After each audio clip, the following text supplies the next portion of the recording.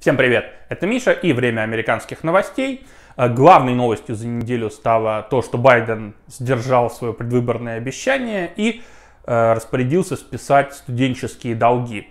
А, значит, списано будет до 20 тысяч долларов тем, кто зарабатывает в год э, в пределах 125 тысяч долларов.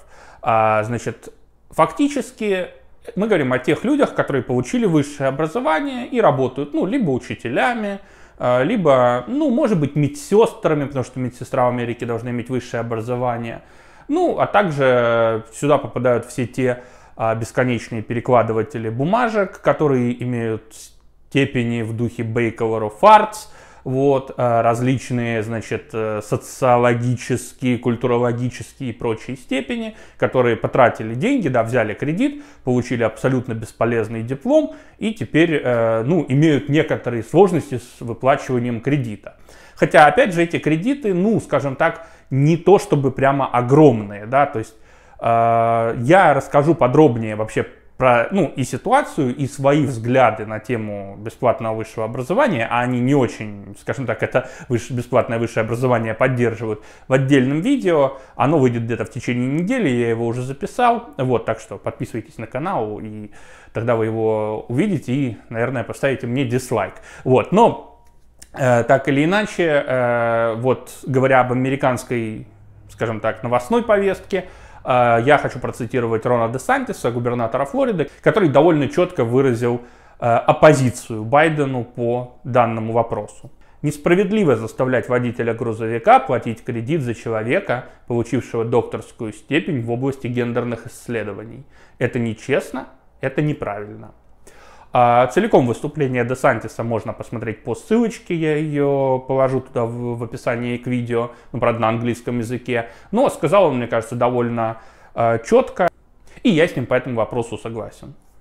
Следующей громкой новостью стало заявление Энтони Фаучи, так называемого доктора Фаучи. Ну, почему так называемого? Он, конечно, действительно доктор, но последние много-много лет он уже чиновник. Да? Он с 1984 года руководит э, институтом Э, аллергии и инфекционных заболеваний в США. И э, вот на этой должности он э, как бы стал известен, ну, на самом деле он был известен, но вот, скажем так, широкой публике, может быть, за пределами США он стал известен именно во время эпидемии коронавируса.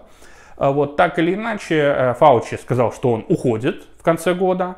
И на самом деле, скорее всего, это просто ну, попытка уйти красиво, потому что если республиканцы получат власть, э, а они, скорее всего, ее получат, то вполне вероятно Фаучи ждет, скажем так, э, некоторые, некоторые вопросы относительно его э, деятельности.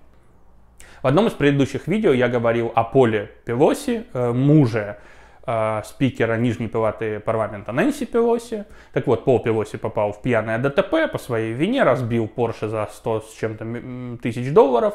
Вот, и прошел теперь суд, он признал себя виновным, суд его приговорил к пяти дням тюрьмы, но поскольку он там два дня отсидел, когда его арестовали, ну, после аварии, это ему зачли, два дня куда-то там еще испарились, и в итоге он один день даже проведет не в тюрьме, а за, за общественными работами.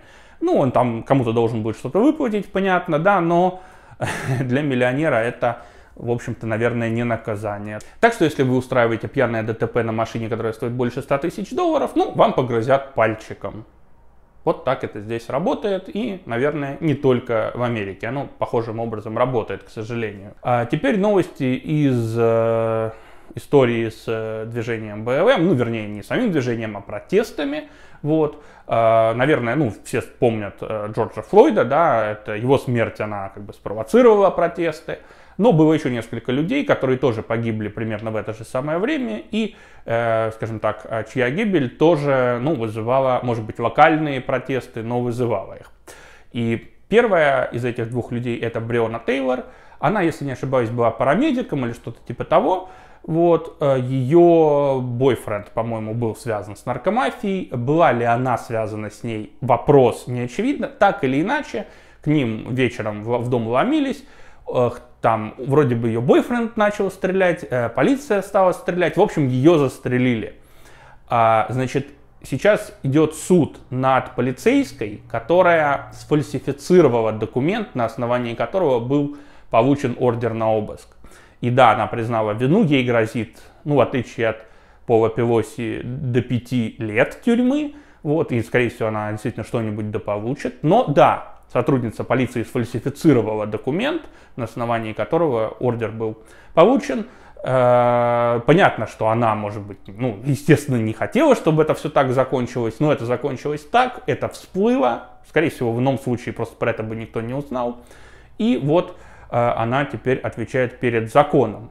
И э, с другой стороны, в Джорджии, значит, там тоже в 2020 году был убит афроамериканец полиции, и тоже, ну, как-то это вызвало некоторые протесты афроамериканца звали а, Рейшард Брукс.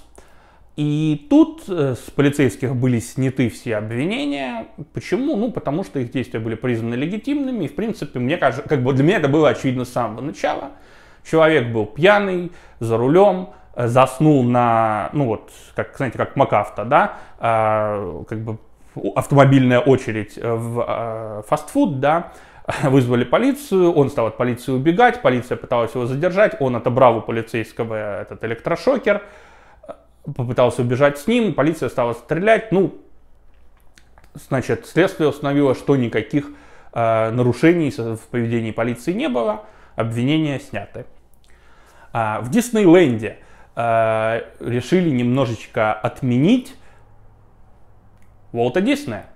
А, значит, э, на ежегодной э, церемонии, приуроченной ну, годовщине открытия э, парка, вот на протяжении 67 лет зачитывали ну, речь, которую Уолт Дисней сказал при открытии парка. В этом году эту речь убрали, я не знаю, почему, э, как бы официальных каких-то комментариев Дисней не предоставил, но, по всей видимости, хвалебные слова в адрес Америки сейчас среди прогрессивного американского общества воспринимаются недопустимыми, и вот, видимо, э, поэтому, поэтому цитату Уолта Диснея убрали.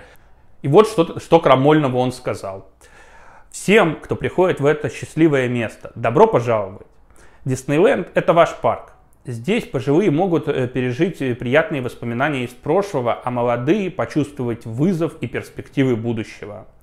Диснейленд посвящен идеалам, мечтам и неопровержимым фактам, которые создали Америку, и с надеждой, что она станет источником радости и вдохновения для всего мира. Спасибо. Вот такая речь. Э, что в ней было крамольного, я, честно говоря, не знаю, но вот а, видимо, в Диснее посчитали, что хвалить Америку больше не политкорректно. Ну и теперь а, несколько новостей попроще.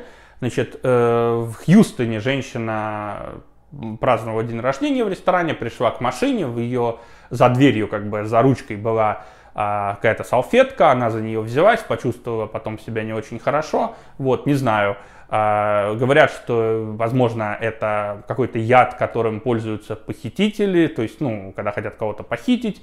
А, ну, так или иначе, анализ ничего не показал. Ну, может быть, как говорится, она просто переволновалась. А, другая новость. В Нэшвилле, штат Теннесси, прошел протест организации ПЕТА, ну, это люди за гуманное обращение с животными. Вот, протест был таким. Они пришли в какой-то местный Starbucks, перегородили как бы въезд к нему, залили свои ноги цементом и стояли с плакатами, против чего они протестовали.